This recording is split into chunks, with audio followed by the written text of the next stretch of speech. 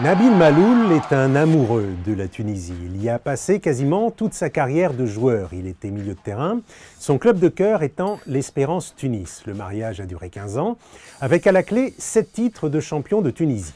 C'est donc presque naturellement qu'une fois sa carrière terminée, Nabil Maloul devient l'entraîneur du club espérantiste, là encore avec succès, puisqu'en 2011, il réussit le triplé Coupe, Championnat, Ligue des Champions.